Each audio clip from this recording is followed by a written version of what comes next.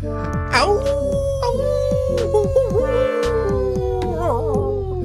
is the Jim and Terry Show, howling at you from the Hobbit Hole Studio, Bobcaygeon. I'm Terry. I'm Jim. I'm I am the Wolf Man. yeah, from the old radio show. I forget who and Wolf Wolfman Jack. Wolfman Jack. And then I'm thinking also of uh, uh, Michael Fox.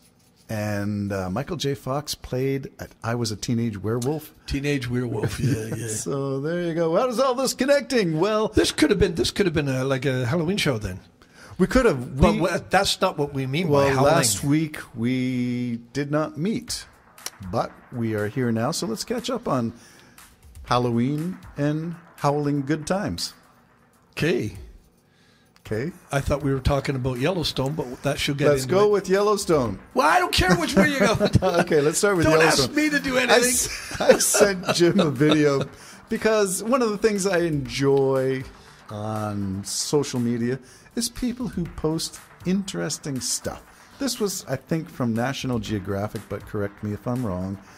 But I saw it and I liked it, and I thought you would like it too. And since you were just getting your head cleared from all the pressures of your album production, this would ground your soul.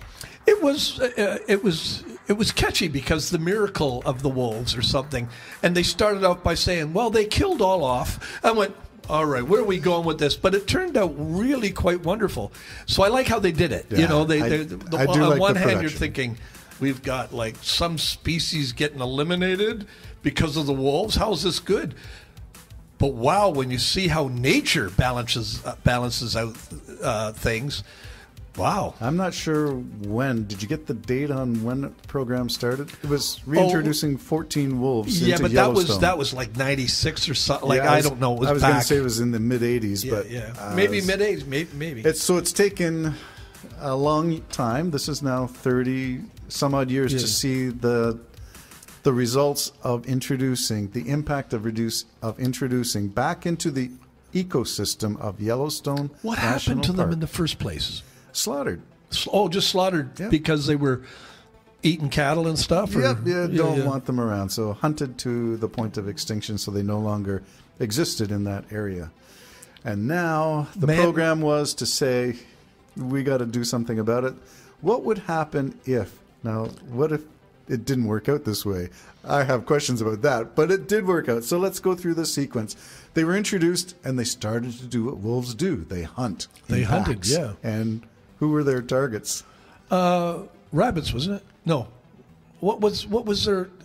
The deer first. Yeah, the deer. They started. They, they, they started on the deer, which they didn't eliminate them, but they started hunting the deer, thinning out the deers, and because they thinned out the deer, foliage started to grow, like uh, The plants stuff and that the deer would normally nibble to death. dibbled to death started growing. So not only did it grow, it grow, grew right up to the riverbanks, covered the riverbanks, stopped erosion. And so in stopping erosion, left puddles of fresh water, you know, I guess when the when it after rains and stuff. And that started life blooming Water started to re- be retained; it didn't run off. didn't run off and uh oh jeepers everything and uh, Yeah. beavers came back and started building dams in the rivers and the creeks And they exploded into pools of water, and with more water came more birds and waterfowl. yeah and yeah and and that it just turned into an absolute success story unbelievable And- Biodiversity in the Yellowstone National Park, all because of the introduction. And I, I don't know if you could, can you connect it as succinctly as they did? Dot dot dot from wolf to deer to flowers to water to beavers to predators to bunnies to. you know. well somebody must have known somebody must have known or you wouldn't have taken all that because i don't know if the canadian connection was they brought them down from, From canada, Canada, yeah, from and and uh, to reintroduce them into an area that they were Yeah. uh, uh, been Extinct. driven out of or is extinct and they must have known that certain things were happening because there were no wolves and i guess you know that by seeing other places where there are wolves And you go, well, why? Is, oh, what's missing in this Yeah. natural uh, ecosystem? Yes. Well, there's no wolves in, the, in in Yellowstone anymore. So they brought it was only like 19 or something. I don't know how many. 14 wolves. They brought them back, and they did what wolves do, and most species do. They reproduced, and they immediately started killing the deer and uh, eating them. I mean, they don't just kill them and top, chop the heads off and put them in their dens. No, not they like eat them. people. It's food. Yeah. But the other lesson there is the things that man do by just killing all the buffaloes or killing all the, you know, uh, and I'm sure the buffalo kill off in the prairies and that probably resulted in maybe some of the, uh, uh, uh, uh, some of the properties turning to sand instead of being fertilized Right. property with all the dung from the bison and bulls and everything. So, yeah, we got to watch what we're doing as a. s- So there's a happy ending to that story. well, the happy ending is also "Oh Little Man," because the truth of the matter is, you know, uh, wreck things enough, then we're going to be wrecked, and then it'll all come back, in my opinion. But we may not be there to enjoy it. At our it. age and stage, I feel like a wreck most of the time anyway. We've been wrecked through our lives, our life choices. Yeah, so there's a happy ending story, and that was, again, something I picked up on the social media and shared it with you because it was a tale of something good coming of something that we thought we understood, but now we understand a lot more and a, a lot more detail. So good for.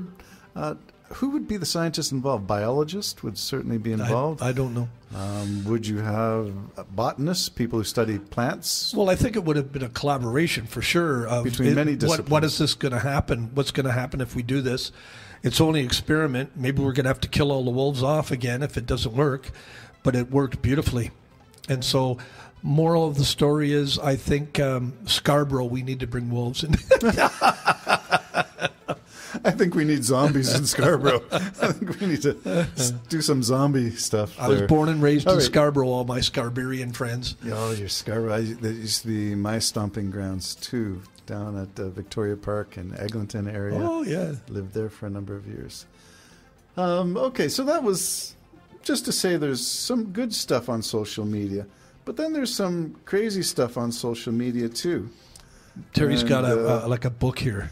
I've got my my records, but I, I, I showed you the, this thing here. Oh, This my is- goodness. This is my conspiracy theory uh, whiteboard. I wish it Holy was a mackerel. smart board, but it's not. But it's funny, you know. I, I mentioned that since Elon Musk purchased Twitter, that there's a seems to be a lot more crazies, and by crazies I mean QAnoners. I mean people who are COVID deniers, vaccine hoaxers, uh, you name it, all that crazy stuff seem to be on there. And that became more obvious to me as I watched coverage of the Ottawa protest, the Emergencies Act inquiry, which is supposed to be going on to make sense of what did go on that we didn't know. And can we find out the whole story? Just like the January 6th Commission is supposed to investigate and tell us what really did go on behind the scenes, all the stuff that we didn't know. There's a lot more detail coming out. Yeah, I don't know how much we will get because we remember the inquiry into the alien thing and what a joke that was. so, you know, I, Let me get this right. You're putting alien investigations with the trucker convoy in Ottawa with the January 6th Commission. Okay, one of these things does not fit with the others. these maybe things they all. don't belong together. well, all I'm saying is if, if, if certain people, like with the alien one, everything that was good that we really wanted to hear why we tuned Yes. in was behind closed doors. They basically said it right to our face. Oh, this is for the closed session. And that's why all the seats were empty. The people were waiting, who were Waiting the- guests, yep. were going to go into the closed session. So I don't know how much the inquiries, where they're stopping, like where they stop, where they go into. I, I don't know, and I'm not going to take the time to figure it out. Um, but I, on the other hand, I can see why it was needed. You know, yeah, investigate it, see if it was overkill. It, it may have been, you know, like the same as they say that Ford is overkill. Like I liked what Ford did until I heard today coming here, someone saying, "Well, it would have been way easier if they just had a put in a work to rule. Uh, uh, everything would have been solved." Uh, work to rule from a teacher's perspective doesn't really accomplish that much. It's great because we do a lot of extra work that we're not clocked for or paid for. But my point being, you could do that and Mm-hmm. it would be delayed and tangled up in courts. Uh, at least the kids would be back in school. They wouldn't have to be out of school. Yes. So what I'm saying is, I I thought this thing. Well, yeah, maybe, but then someone else said, but if he had done this, and I think, well, this was a more moderate way of doing it. Do the work to uh, uh, the back to work legislation. That would be a, a, a more moderate, more palatable way of doing it. So, was it overkill on Ford? Probably, you know, and it might have been overkill on Trudeau too. At the time, I supported Trudeau's call. We'll get to that in another subsequent Oh, not another one. podcast because there's a lot more to uncover. We get in this. from like I don't know, Jim. coyotes to You're that. responsible for this. Oh!